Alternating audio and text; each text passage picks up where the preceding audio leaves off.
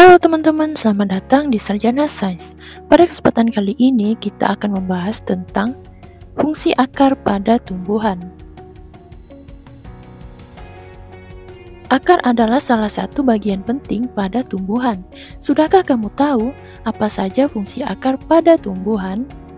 Secara umum, kita ketahui bahwa akar pada tumbuhan berfungsi untuk menyerap air dan unsur hara dari dalam tanah. Tak hanya itu saja, ternyata akar memiliki fungsi yang lebih luas bagi tumbuhan. Nah, berikut ini penjelasan beberapa fungsi akar pada tumbuhan. Yang pertama, sebagai penopang tanaman. Fungsi akar pada tumbuhan yang utama adalah sebagai penopang dasar tanaman. Akar yang terletak di dalam tanah berfungsi untuk menahan tanaman agar bisa tetap tumbuh tegak. Seiring pertumbuhan, akar di dalam tanah akan berkembang semakin panjang dan menjalar sehingga tumbuhan bisa semakin kuat. Dengan demikian, tumbuhan tidak akan mudah rusak atau bahkan tumbang meskipun tertiup angin yang cukup kencang. Yang kedua, penyerap air dan zat hara. Air dan zat hara di dalam tanah merupakan nutrisi yang dibutuhkan tanaman untuk bisa tumbuh dan berkembang. Akar akan menyerap air serta garam mineral atau zat hara dari dalam tanah akar mampu menyerap nutrisi organik maupun anorganik. Oleh karena itu, tumbuhan pun bisa menyerap pupuk anorganik yang kita berikan. Yang ketiga, akar menjadi distributor nutrisi pada tumbuhan. Setelah menyerap air dan zat-zat yang ada di dalam tanah, akar akan menyalurkannya ke seluruh bagian tumbuhan lain pada tumbuhan, yang kemudian akan diolah menjadi sumber makanan.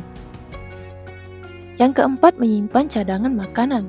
Selain sebagai penopang dan menyerap unsur-unsur yang ada di dalam tanah, akar juga memiliki fungsi sebagai tempat menyimpan cadangan makanan, seperti buah, batang, dan akar.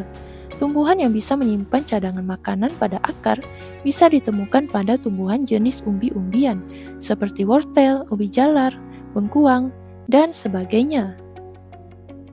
Yang kelima sebagai alat respirasi atau pernapasan. Beberapa akar pada jenis tumbuhan memiliki fungsi sebagai alat respirasi atau pernapasan. Contohnya pohon beringin yang memiliki akar gantung sebagai alat respirasi atau pernapasan. Tumbuhan bakau juga menjadikan akarnya sebagai alat pernapasan. Akar tumbuhan yang bisa berfungsi sebagai alat respirasi disebut dengan istilah pneumatopores. Dalam hal ini, struktur sel dan jaringan pada akar memungkinkan untuk terjadinya proses difusi udara. Yang keenam, membantu proses fotosintesis agar optimal. Salah satu fungsi akar pada tumbuhan yang tak kalah penting adalah sebagai sarana pendukung proses fotosintesis. Perlu dicatat, klorofil tidak hanya terdapat pada daun saja, tapi akar juga memiliki klorofil yang sangat dibutuhkan untuk proses fotosintesis. Dengan demikian, akar tanaman yang terjaga dengan baik dapat menjalankan peran menunjang fotosintesis secara optimal pada tumbuhan. Yang ketujuh, sebagai gerak tanaman. Akar juga berfungsi sebagai gerak tanaman karena membantu mendapatkan sumber air, unsur hara, dan sinar matahari supaya tumbuhan dapat tumbuh dan berkembang biak dengan baik. Hal ini sering terjadi pada tumbuhan yang memiliki mekanisme gerak seperti geotropisme, fototropisme, stigmotropisme, kemotropisme, dan hidrotropisme. Tumbuhan-tumbuhan seperti itu akan tumbuh bergerak mencari sumber makanan yang dibutuhkan. Yang kedelapan, sebagai alat reproduksi.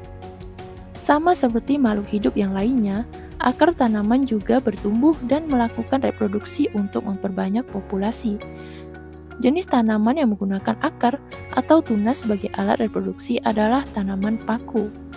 Nah, itulah tadi pembahasan tentang beberapa fungsi akar pada tumbuhan. Oke, sekian video pada kesempatan kali ini. Semoga bermanfaat ya. Jangan lupa untuk subscribe, like, komen, dan share ya teman-teman. Sampai jumpa kembali di video-video berikutnya. Bye-bye.